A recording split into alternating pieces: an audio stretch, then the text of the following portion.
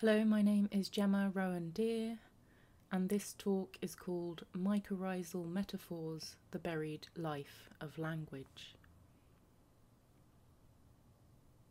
Like silent, naked monks huddled around an old tree stump, having spun themselves in the night out of thought and nothingness. That's the start of a poem called Mushrooms by Laura Kasischke. It captures something of the unearthly strangeness of fungi. Swelling up overnight, they disrupt the ground of our established conceptual repertoires. Neither plant nor animal, they digest and decompose old frameworks and grow strange new shapes from the mulch. They are emergence itself. Sometimes tasty, sometimes toxic, they inspire our curiosity and our fear. Some are capable of profoundly altering human consciousness and perceptions. And mushrooms are, of course, but the brief fruiting bodies of an organism that is mostly out of sight, underground, the threads of mycelium wending through the soil in vast underground networks that we are only beginning to understand. The edge of understanding can be a dangerous and frightening place as we're learning in the Anthropocene, as the emergent effects of our technologies and civilizations revise what we thought we knew about the planet and our place on it. But the edge of understanding is also an exciting and transformative place where new connections are forged and new ways of being can emerge. And so let's delve underground into the dark and unfamiliar world of mycelial meshworks and mulching matter immerse ourselves in the sticky black soil, in the tangle of roots and rhizomes, in amongst the bugs and bacteria. Along the way, I invite you to pay a micrological or mycological attention to my language, to see and hear and feel the metaphors for what they are, to examine the shape and textures of their caps and stems, to attend their spores and scents, and to note the ground they grow from. As we make our way through this tangled overgrowth or undergrowth of metaphor, I want you to reflect upon how other forms of life, plants and fungi and insects and bacteria, how these other forms of life worm their way into our conceptual repertoire, how they take root in our minds, how they spin webs of meaning, how they affect and infect how we understand things, how they can seed or germinate different ways of perceiving the world. And what might we hope to unearth in this dark and tangled place? Well, as my title suggests, I'm going to be digging for the buried life of language. But down underground, we'll first try to notice a thing or two about the buried life of another kind of buried life, the buried life of mycorrhizal networks. We now know that forest ecosystems are extensively connected underground by mycorrhizae, the mutually beneficial partnerships between fungi and plants. The vast majority of land plants, that is, around 95%, are engaged in mycorrhizal partnerships, and it was such partnerships that initially enabled the algal ancestors of plants to first grow on land during the Silurian period over 400 million years ago. And what is the basis of this ancient and near ubiquitous association? The plants bring photosynthesized carbohydrates to the table, while the fungi share nutrients foraged from the soil. But mycorrhizae are much more than a partnership between two species. Mycorrhizal networks connect many plants together and transfer water, carbon, nutrients, bacteria, infochemicals, and possibly also electrical activity between them. Since the health and success of individual organisms is thus bound to others in the network, including others to whom they are not directly or genetically connected, entire ecosystems start to look like symbiotic entities. When, in Alice's Adventures in Wonderland, the caterpillar, who just so happens to be sitting on a large mushroom, asks Alice, Who are you? She replies, I can't explain myself, I'm afraid, because I'm not myself, you see.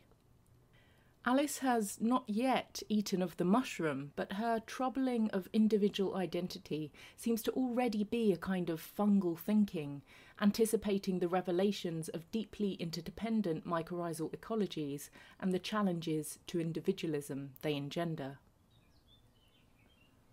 The most famous metaphor for the subterranean associations between fungi and plants is the wood wide web, a metaphor that, in comparing mycorrhizal networks to the internet, recognises the far reaching connectivity of forest ecosystems and the multiplicitous relationships this connectivity enables.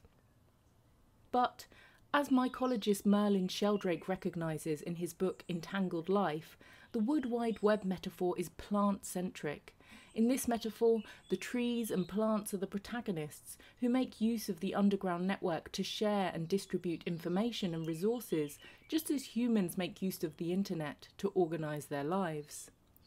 But Sheldrake points out that mycorrhizal fungi are not mere conduits or cables, they are living organisms with lives and interests of their own. And so the wood wide web metaphor is insufficient to fully make sense of what goes on under the ground of a forest. Invoking some of the various discoveries about how mycorrhizal networks function, Sheldrake asks, quote, How best to think about shared mycorrhizal networks then? Are we dealing with a superorganism, a metropolis, nursery schools for trees, socialism in the soil, deregulated markets of late capitalism with fungi jostling on the trading floor of a forest stock exchange? Or maybe it's fungal feudalism with mycorrhizal overlords presiding over the lives of their plant labourers for their own ultimate benefit.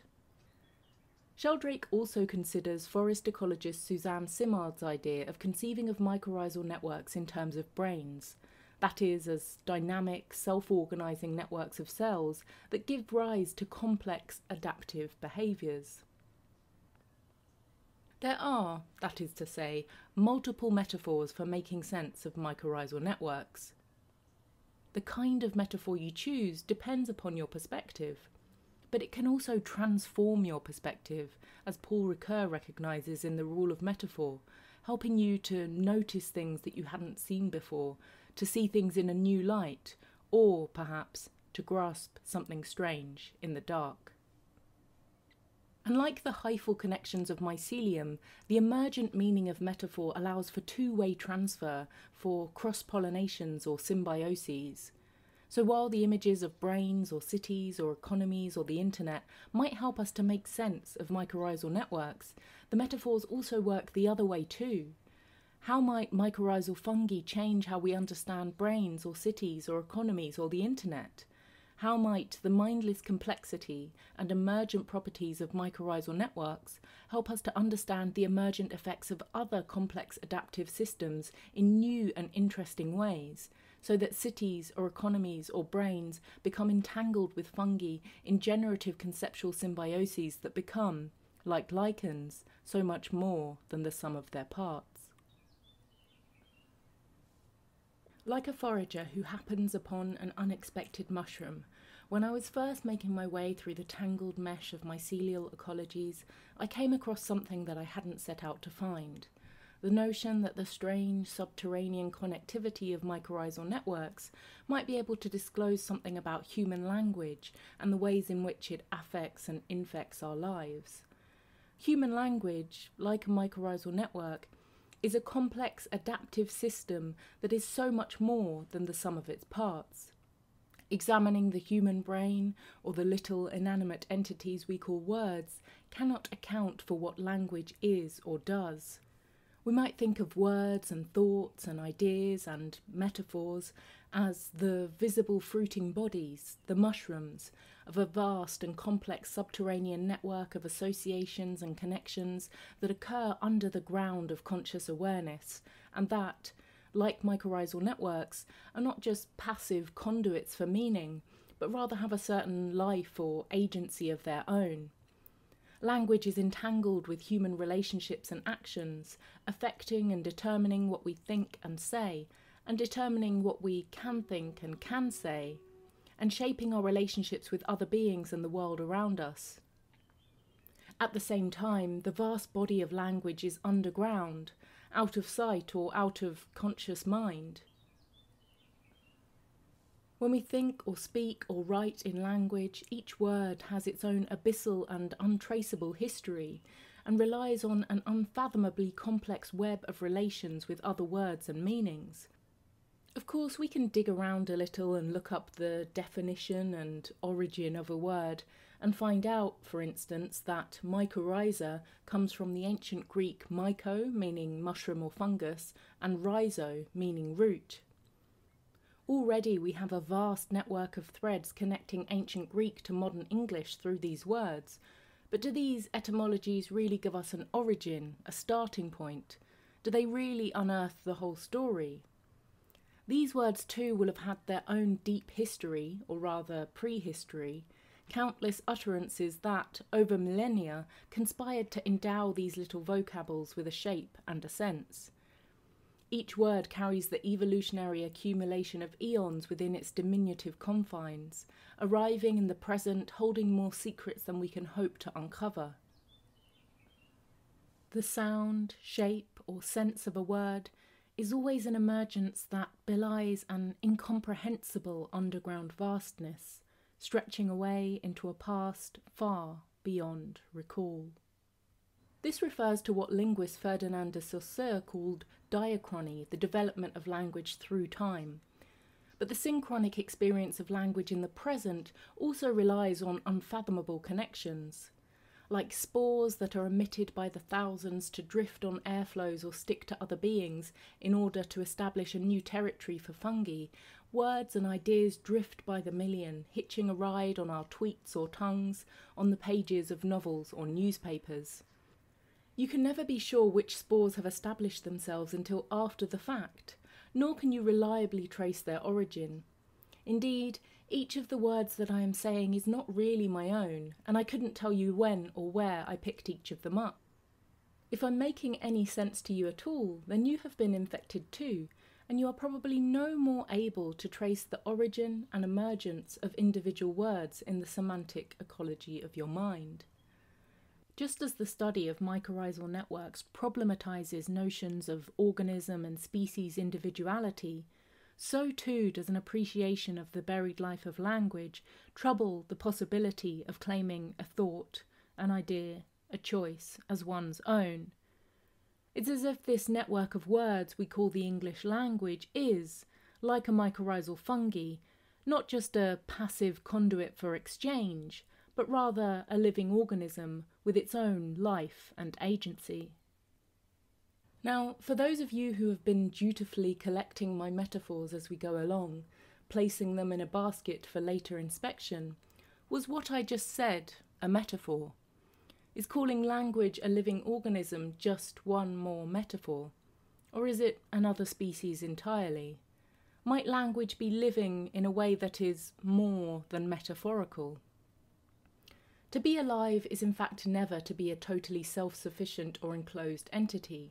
To be alive always relies on some kind of parasitism of the environment, of the field from which the material stuff of a living body is composed and maintained against the force of entropy and decay. Where would you or I be without the supernovae explosions in which the elements that make up our bodies were forged? Where would you or I be without the air we breathe, the food we eat, the water we drink, without the microbiota in our guts and in our soils. Language, like all living things, depends upon its host environment, us, to survive and replicate. Language, like all living things, can act upon and affect its host environment in a multitude of ways. And language, like all living things, adapts and evolves via natural selection. Like a mycorrhizal network, language has its own way of making things happen, often out of sight or at least out of conscious mind. And like a mycorrhizal network, language does not need a mind of its own in order to act like this. We experience this in speaking, in the ways in which words and sentences emerge fully formed from our mouths, often without conscious thought. As an old lady puts it in E.M. Forster's Aspects of the Novel, how can I tell what I think until I see what I say? We experience this in writing, when ideas often emerge out of the act of writing itself, appearing as if from elsewhere, as Timothy Clark examines at length in his book The Theory of Inspiration. And we experience this in reading, when words and text take on a life of their own, new meanings emerging out of new contexts beyond the purview or intention of the author, as when I earlier read Alice's being not herself as a kind of fungal anti individualism, or when the sounds and shapes of words weave connections through the material surface of a text, as in a poem by Robert Wrigley, in which he describes mushrooms as, quote, dark knuckles rocking up the duff, where, like the mushrooms, the repeated K sounds work to ruck up the surface of the line. Like mushroom hunters, we need to engage a special kind of attention in order to be able to notice the ways in which the life of language emerges through text. Helen Macdonald writes that, when foraging, mushrooms have an uncanny ability to hide from the searching eye. Instead, you have to alter the way you regard the ground around you, concern yourself with the strange phenomenology of leaf litter, and try to give equal attention to all the colours, shapes, and angles on the messy forest floor. Or, as Anna Tsing remarks, no one can find a mushroom by hurrying through the forest. Inexperienced pickers miss most of the mushrooms by moving too fast, for only careful observation reveals those gentle heaves. Likewise, to discover the buried life of language, you have to go slow, get low, attune yourself to the various levels of textual operation, to the micrological shapes and sounds of individual letters or words, to the meshwork of personal and interpersonal associations, to the sediments of common usage, to the etymologies heaving under the surface, invisible to the untrained or hurried eye. For many of us, reading usually happens so effortlessly, so automatically, that we cannot see the words for the text. The strangeness of the experience, the way that you and an author are connected across time through little black marks on a page or screen, the way that an author can effortlessly and effectively get inside your head and tell you things, whether you agree with them or not, is often lost in the ubiquity, the banality of reading. The strangeness of the experience, the way that these words and this grammar come through me, but certainly not from me, is often obscured behind the illusion that I have that we all have of being a conscious agent, an author of words and actions. Anna Tsing writes that human exceptionalism blinds us. Science has inherited stories about human mastery from the great monotheistic religions. These stories fuel assumptions about human autonomy, and they direct questions to the human control of nature rather than to species interdependence. One thing often taken for evidence of human exceptionalism and mastery is language. As such, we can be blind to its power and its agency. We are so immersed in it that we regularly fail to apprehend it at all, but when we do, it is often assumed to be just one more thing that is under our control, a tool to be manipulated. Yet this is not true. Language is before and beyond us, affecting, infecting, and inflecting our lives in incalculable ways. Going under the ground of the forest entirely changes the way that we understand what goes on above ground. It transforms and disperses our sense of agency and interconnection and decomposes our privileging of the visible. To compare the workings of language to mycorrhizal networks is, like all metaphors, necessarily incomplete. It fails to fully account for the complexities of either system. But what I mean to do by making this comparison is to invite us to become a little more aware of the underground life of language and the way that it affects our lives. It might help us to see how far we are all entangled in a vast and ancient semantic ecosystem, and to begin to notice how far we rely on this symbiotic exchange in order to think and act at all. So, next time that you happen upon some words in your mind or mouth, take a moment to reflect on the strangeness of their emergence, having spun themselves in the night out of thought and nothingness,